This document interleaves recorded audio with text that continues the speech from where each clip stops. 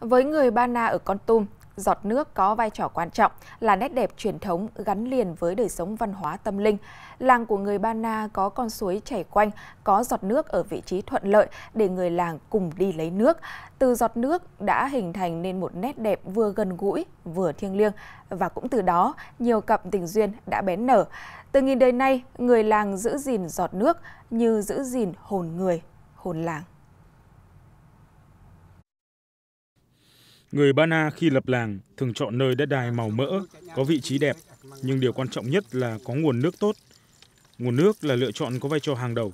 Nếu lửa tượng trưng cho ý chí, dũng khí của người Ba Na, thì nước chính là sự dịu ngọt của tâm hồn, là mạch nguồn tình cảm. À, thành lập một cái làng họ phải tìm một cái nguồn nước uh, nước thiên, tức là không có độc á.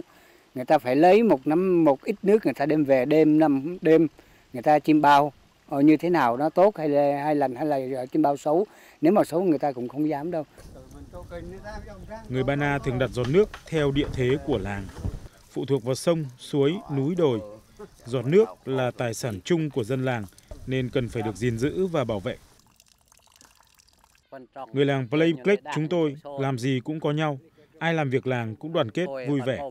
Hôm nay làng bàn bạc rồi sửa lại giọt nước. Giọt nước này là từ thời ông bà để lại. Người làng chúng tôi phải có trách nhiệm giữ gìn bảo vệ thì cả làng mới được hưởng.